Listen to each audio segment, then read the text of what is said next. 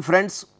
So, in our last two sessions, we discussed about uh, various concepts related to facility layouts and in those uh, we discussed about uh, process, product uh, and their combinations in the form of uh, cellular layout where in detail we discussed the concepts of uh, how to develop the cells and how cellular layouts offer you advantage of both product and process layouts.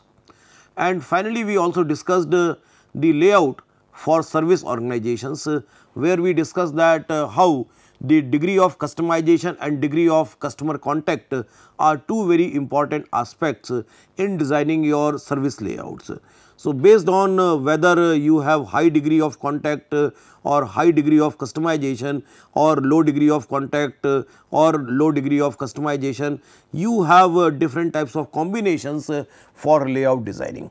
And uh, finally, we also discussed that the role of different types of symbols, signs, artifacts etc. are also important in the designing of your retail outlets. Now, in our uh, one of the discussion in the layouts, uh, we discussed about uh, product layouts and uh, one very common example of product layout is assembly line. When uh, various operations are being performed in a regular sequence and uh, particularly like if I am talking of assembly of engines. So, that is a very common example that uh, different parts move on a conveyor belt and uh, this conveyor belt moves uh, from various work centers uh, and uh, there are particular tasks to be performed at a particular work station and uh, that is to be done within a particular time limit because the belt is continuously moving and therefore, it is a very well thought, very scientifically developed movement of that belt so that uh, each worker, those who are performing in that uh, movement of the conveyor belt, they should be able to complete their task as long as that product is within their range. If you go to places like uh, London or Singapore, these places have uh, very interesting uh, giant wheels and these are known uh, Singapore eye and London eye. Now, when they are uh, putting passengers into that uh, trolley or that uh, uh, chamber, so it is a very systematic that uh, when that wheel is coming down and they have to open the gate of the trolley. So, that is a particular station immediately passengers will come out then at the second station there are some cleaning activities and the security check and at the third new passengers will get into the and all these activities because the wheel is continuously moving. So, all these operations you have to perform during the movement of the wheel itself. So, at each of these three stations wheel will be there only for uh, let us say fraction of uh, minutes and uh, they have to perform their jobs uh, within those fraction of minutes. So, that is a very good example of the system in which uh, our product layouts are working. So, to perform or to develop a good product layout, we need to understand how scientifically we need to design all these activities so that uh, there is a situation of uh, complete balancing of that product layout. And that is also known as uh, line balancing. And that is the topic of our discussion that uh, what is this line balancing? And uh, therefore, I can also write this uh, title as line balancing. Now, in this line balancing there are uh, some important uh, you can say theoretical aspects that uh, what is the objective, what is the process, what are the formula we have to use and then we will see with the help of some numerical example that uh, how line balancing is done because this is one very important aspect uh, of operations manager to develop a good line. Good line means a good product layout. So, when I am saying the line it automatically means product layout. Now, The goal of a product layout is to arrange workers or machines in the sequence that operations need to be performed. So, that we already know the sequence is referred to as a product line or assembly line. These assembly lines range from fairly short with just a few operations to long lines like a few operations I mentioned about uh, this uh, uh, Singapore London Eye where only 3 operations are there, but uh, it is an example of uh, assembly line or you have very long lines uh, of assembling the engine of some car and that may take up to hundreds of operations to a long line that have a large number of operations. So, automobile assembly lines are example of uh, long lines where uh, more than 100 operations are being performed. Now, it is uh, an example of uh, Ford company because uh, uh, whenever we are talking of assembly line, we must take the name of Ford car company because Ford was the first company to introduce the concept of assembly lines and uh, assembly line that is also very important that uh, this assembly line system is basically the starting point of uh, mass manufacturing. Before that uh, the concept of mass manufacturing was totally absent. Ford started the concept of uh, assembly line and uh, as a result of assembly line the mass manufacturing started as a result of that uh, concept of economies of scale came into picture and as a result of that uh, cost of manufacturing started decreasing. So, it became a very important kind of revolution in the development of uh, entire manufacturing philosophy. So, what is mentioned that uh, with respect to this Ford Mustangs, uh, it travels around 9 miles from start to finish. So, that itself gives you an idea that uh, it is a fairly long movement uh, because you have to perform more than 100 operations uh, during the entire assembly of this Mustangs and therefore, it is travelling around 9 miles. Now, process of deciding how to assign tasks to workstation is referred as line balancing and that is what we are going to do today. This line balancing is the important thing because uh, what type of operations need to be performed, which operation will be first, which operation is second, which is the third that is the duty of uh, design engineers, that is the duty of uh, industrial engineers. But uh, as an operation manager, the putting those various operations together on a particular work center so that you have a balanced assembly line that is your job that comes under line balancing. The goal of line balancing is to obtain task groupings that represent approximately equal time requirements. This minimizes the idle time along the line and results in high utilization of labor and equipment. So, as we have these different types of uh, tasks uh, which are grouped. So, this is uh, workstation 1, this is workstation 2, this is workstation 3, workstation 4. So, what we are actually trying that uh, the output of uh, these workstations are coming at the similar rate. So, if output is coming at the rate of uh, 2 products per minute. So, we want that almost 2 products per minute should be the rate of output from all the workstations. And if it is so, we say that it is a balanced line. But if one machine is giving at the rate of 2, another at the rate of 3, another at the rate of 1, another at the rate of 4. Now, what will happen in front of some workstations uh, you will have a queue like in the case of third workstation in the revised estimates uh, you will have queue in front of that workstation while the workstation 4 will always be having some kind of idleness. There will be a situation of starvation in front of workstation 4 because it will not be properly fed as workstation 3 is giving one product in 1 minute and workstation 4 is producing 4 products in 1 minute. So, for around 75 percent of the time workstation 4 will remain idle, there is no job to uh, work on. So, we want that uh, such type of situation should not happen and this situation that two work pieces per minute kind of thing should be applicable. So, idle time occurs if task times are not equal among workstations. Some stations are capable of producing at higher rates than others. These fast stations will experience periodic waits like this in this case fourth station will have periodic wait or you can have the situation of starvation. The unbalanced lines are undesirable in terms of inefficient utilization of labor and equipment and because they may create moral problems at the slower workstations for workers who must work continuously.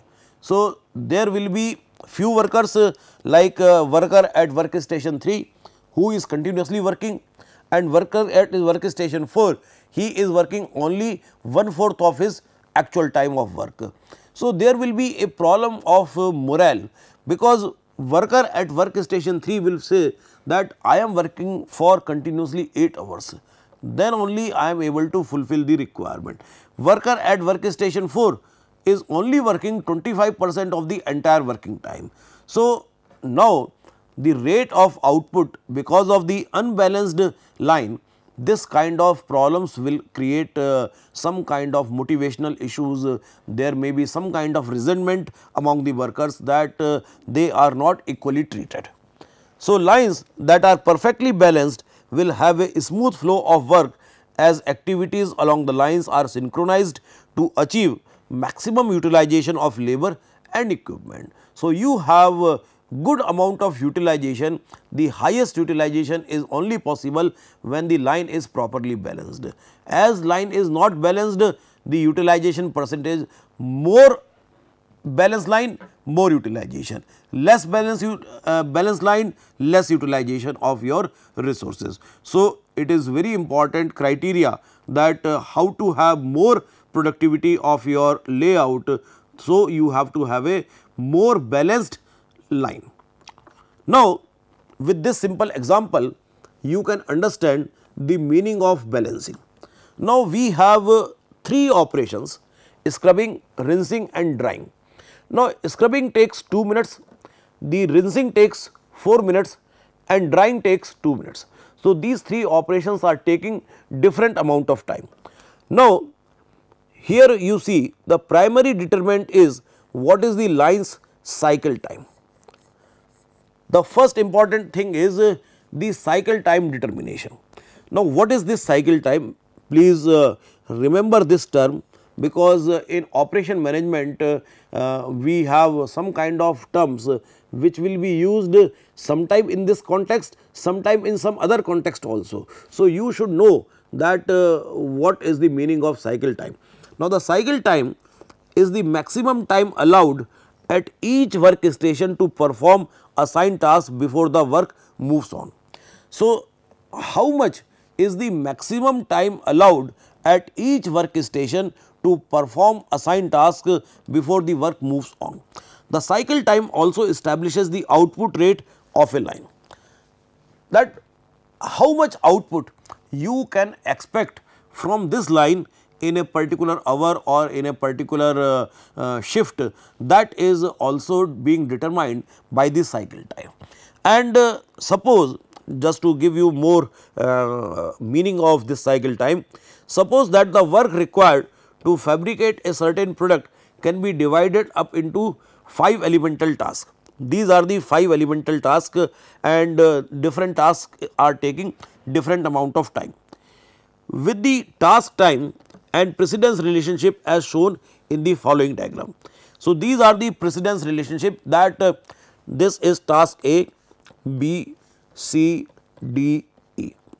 That E can only happen when D has happened.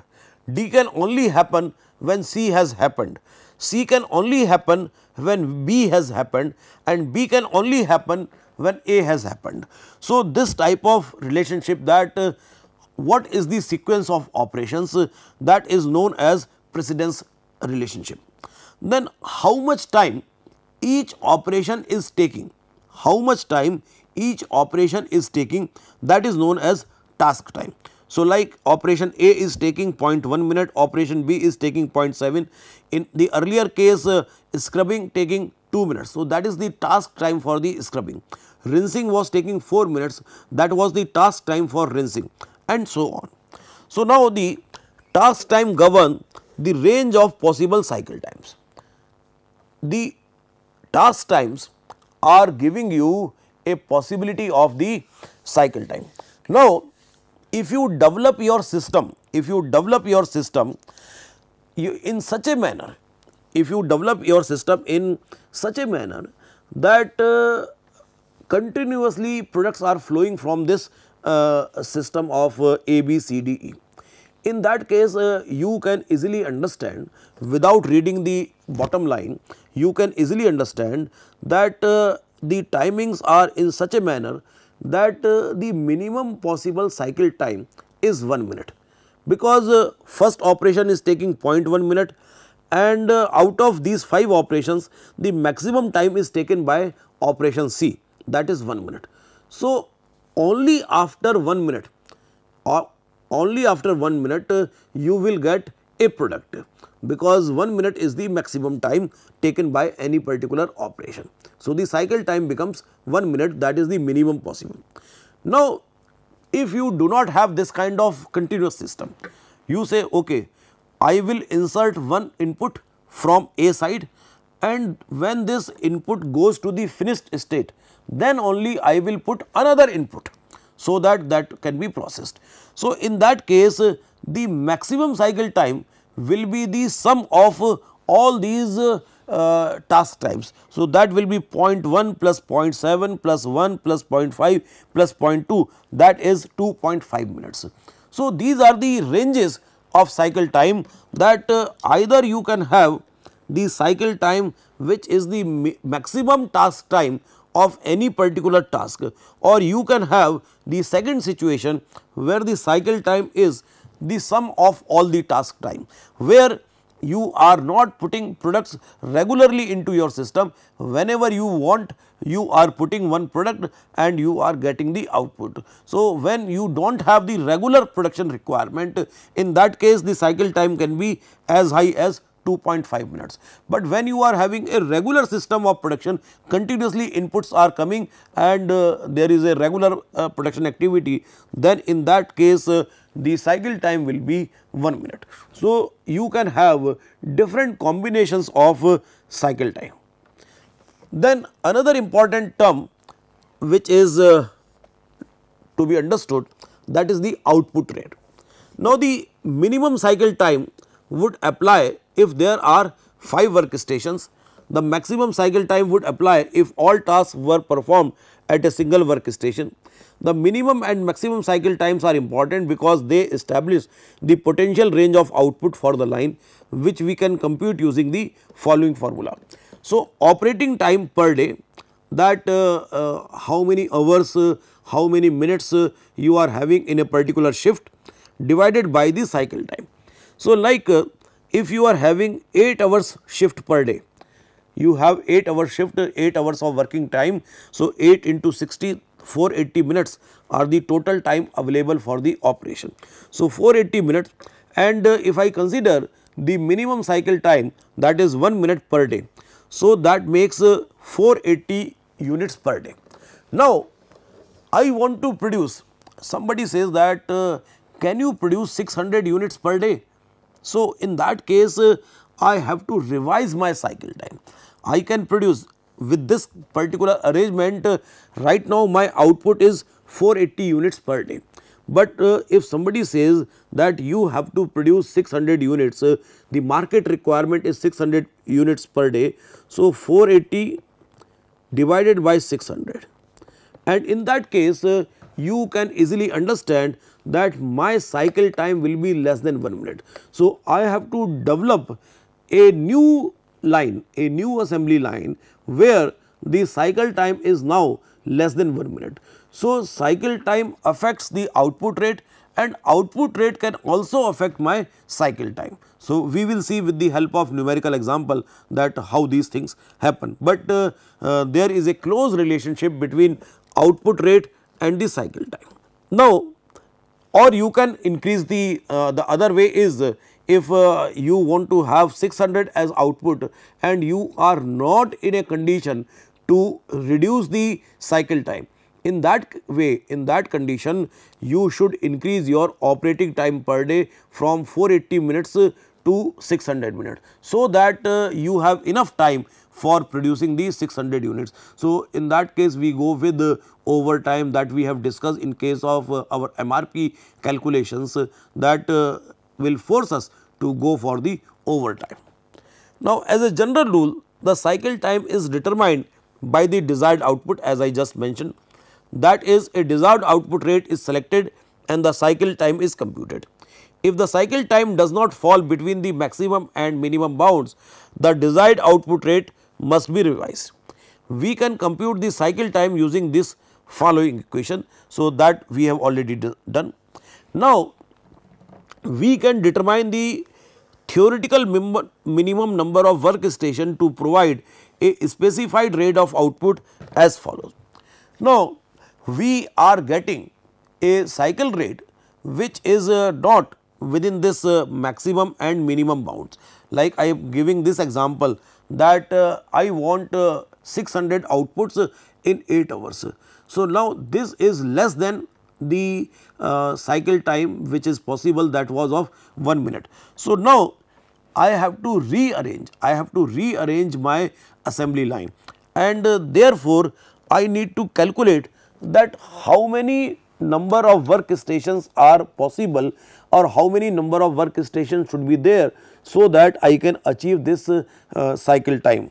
For that purpose I have to do sigma t that is the sum of all the task time that is 2.5 in this particular case divided by cycle time the cycle time which came because of particular output requirement. So, this will give me the theoretical number of uh, workstations in my assembly line.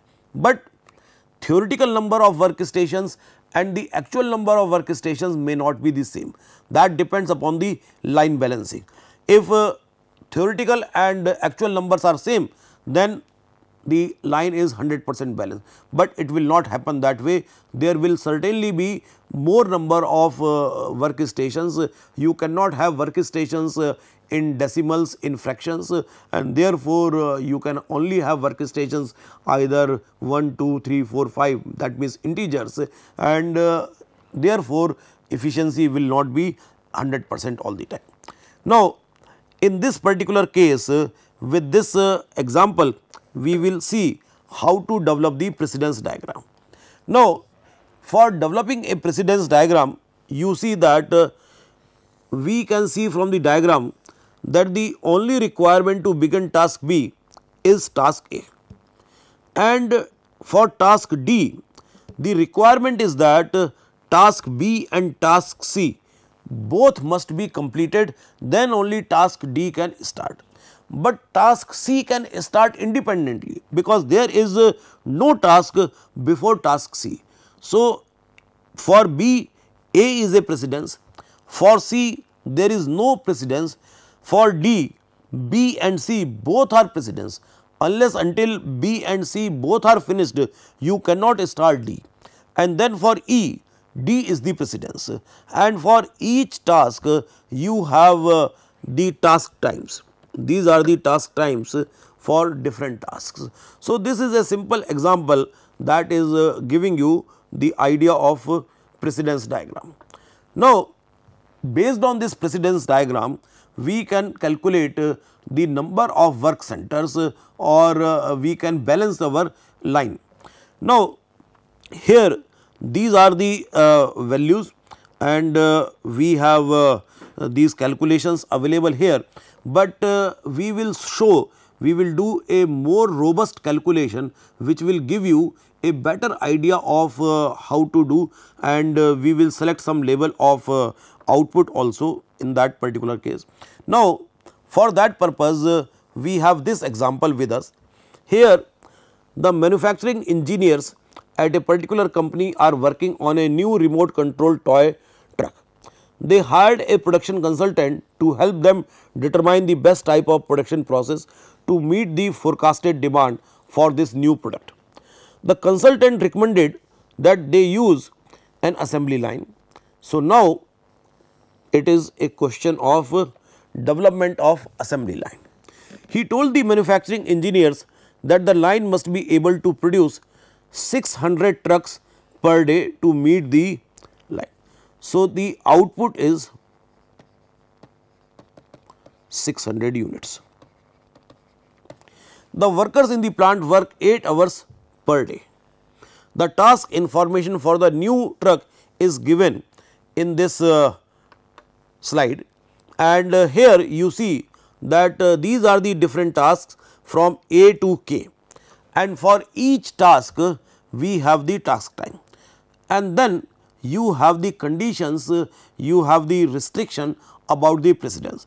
So, the first important thing we need to do that is uh, to prepare a precedence diagram, to prepare a precedence diagram. So, you just uh, remember this thing that uh, for A and B there is no precedence, there is no precedence uh, A and B can start independently. So, here you see that A and B these two tasks are starting independently there is no precedence for them. Then you see for C it is B and for D it is A. So, for C it is B and for D it is A then for E it is C and for F E and D. You see for F D and E both are the precedence. Similarly, if you see for J, G and H, for J, G and H both are required and uh, then only you can start this uh, particular activity. So, for uh, this particular case uh, J, G and H, so G is also to come here and then only this is possible. And uh, similarly, you see for K, I and J both are required. So, K can only be completed when I and J both are completed. So, in this way this precedence diagram is prepared. Now, the second thing is to calculate the cycle time. Now, the sigma t sigma of task time equals to 236 seconds. So, our output rate is mentioned as 600 trucks per day for 8 hours day. 8 hours means uh, you have uh, 480 minutes and 480 into 60 seconds. Uh, so, 28,800 seconds uh, you have in all in a particular day and the desired output rate is 600 trucks. So, 48 second is the cycle time, 48 second is the calculated cycle time. Now, if you see the minimum cycle time for uh, any of these uh, thing is possible that is going to be the maximum of uh, these values. So, maximum of these values is uh, 37 maximum of these values is 37. So, one type of cycle time possible and the sum of task time is uh, 236 that is also cycle time possible. Now, 37 is the cycle time possible when all these tasks are independent and 236 is the cycle time possible when you are putting all these tasks into a single workstation but we require a cycle time of 48 second. It means uh, it is between of 37 and 236 and therefore, you have to find some kind of suitable combinations of these things.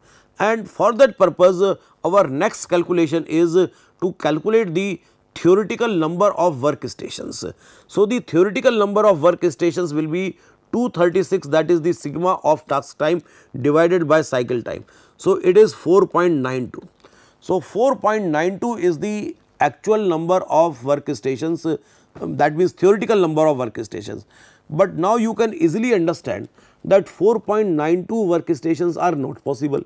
So, the nearest workstation if I am going with this calculation the nearest number of workstations which are possible is 5.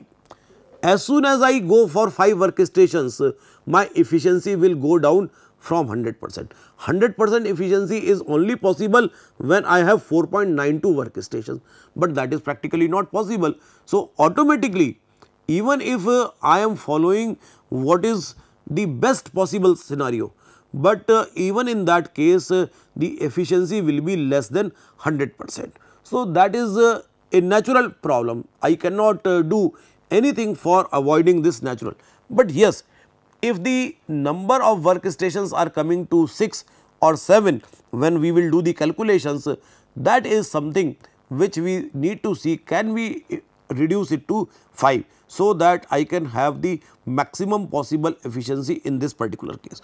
Now for that purpose let us go back to the uh, problem statement.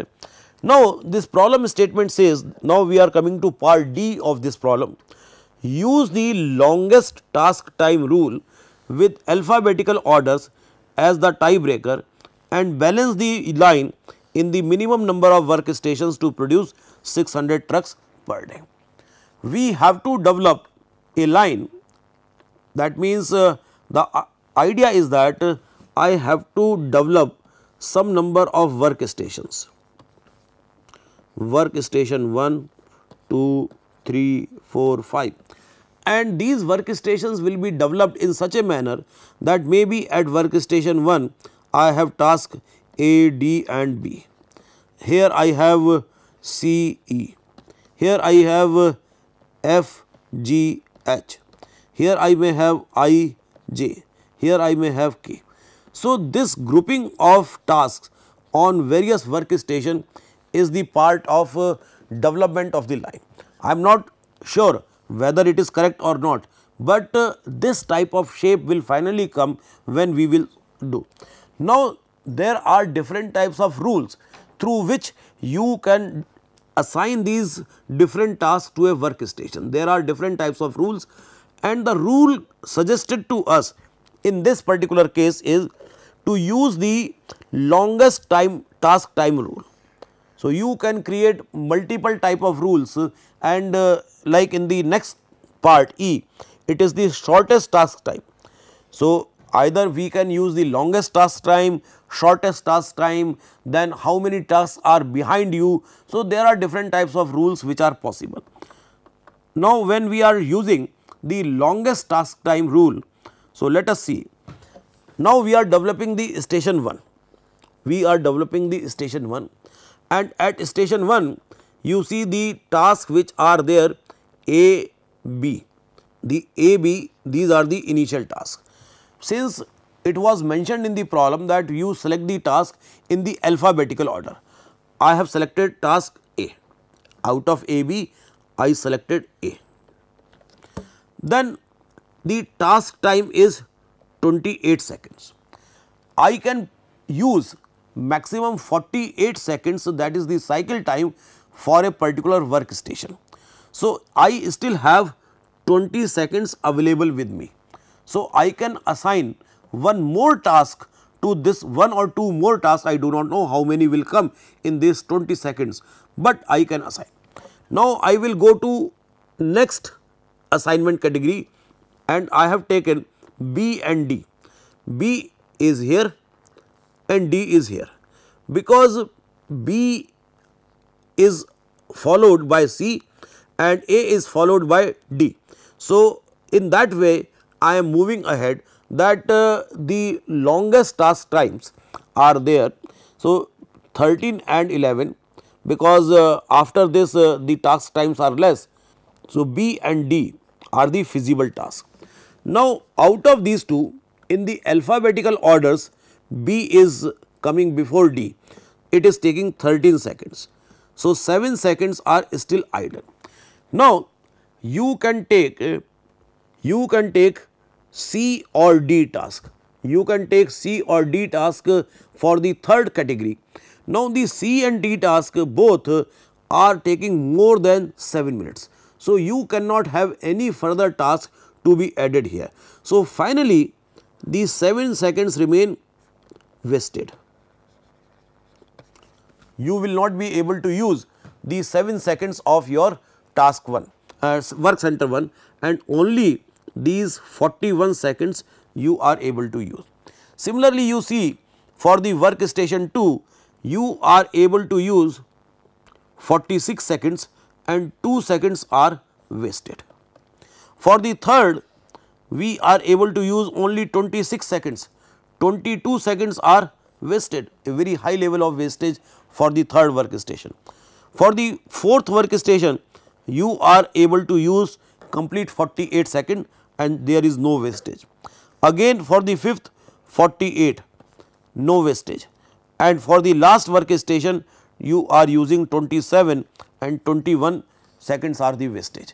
So, in this case now you see that finally we have 6 workstations and these 6 workstations are arranged in a manner that uh, station 1 where tasks A and B will be performed. Then station 2 where task C and D will be performed. Then station 3 where task E and F will be performed. Then station 4 where task H and G will be performed. Then station 5 where task I and J will be performed and finally station 6 where only one task K will be performed. So, you have the 6 stations and then you can calculate the efficiency also. The theoretical number of workstations were 4.92 and the actual number of workstations are 6. So, that is uh, giving you the efficiency of your uh, total system uh, of this line balancing. So, you can see that uh, it is uh, certainly less than 100 percent with your best efforts of balancing the line. Similarly, with the uh, another type of uh, idea that uh, how many number of tasks are following a particular task, you can develop uh, the same kind of arrangement and even in this kind of arrangement we saw that 6 workstations are needed. So, again the same efficiency up to uh, part C. The problem is same. D and E are two parts to demonstrate you that how different decision rules can be used for development of the uh, uh, balanced lines. Now, with this uh, we come to end of this session where we discuss that uh, how line balancing is done. And during this line balancing issue we discussed uh, two three very important terms. One is the uh, cycle rate then the second is the efficiency of your line balancing and third is uh, the work center. So, these are the three very important terms uh, which you remember all through your uh, life uh, because in practice in uh, professional life these terms are used to uh, discuss our technical contents uh, of uh, the production floors and therefore, if you are not aware of these terms you will not be able to understand the meaning of what is being discussed. So, with this we come to end of this session thank you very much.